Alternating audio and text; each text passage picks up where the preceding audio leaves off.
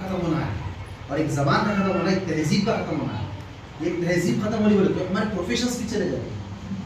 तो ये हमारा काम है। और मैं पहले से ही बताता तो सर, हमें गेस्ट टीचर को काम मत करो। या हमें हमें, यहाँ हाई बोल तो टीचर ही हमें गेस्ट नहीं है, हमें हाई बोल तो टीचर ही सर आपको, सर को यकीन दिला दूँ और सर से वादा कर दूँ इन आपके बाद, सर, हमारे स्कूल्स के इंशाल्लाह, सर एनरोलमेंट बढ़ते जाते सर, इंशाल्लाह। कोशिश करते सर हम सब मिले सर सर का बहुत बहुत शुक्रिया, सर।